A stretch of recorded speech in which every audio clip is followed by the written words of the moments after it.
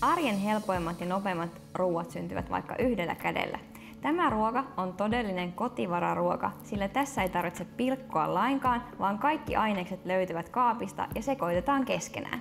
Ruoan valmistusta nopeuttaa, kun laitat padan uuniin esilämpenemään. Tällöin pata on valmiiksi kuuma ja kypsyminen alkaa heti. Tähän ruokaan laitetaan knotseja, joita löytyy kuiva-ainehyllystä kaupasta. Ne ovat sellaisia pieniä taikinan mykyjä, jotka on tehty perunasta. Niitä voi käyttää pastan tapaan. Padan pohjalle laitetaan hieman öljyä.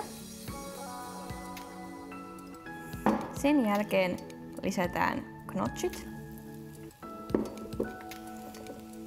särkikalasäilyke, tomaattimurska, joka on maustettu valkosipulilla,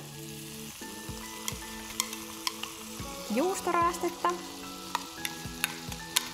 ja muutama desi kermaa. Ruoan voi maustaa mustapippurilla.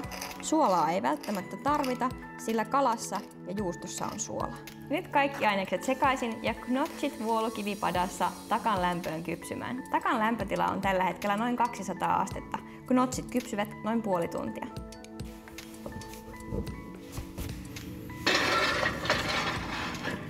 Tämä arjen nopein ruoka tarjotaan raikkaan salaatin kerran.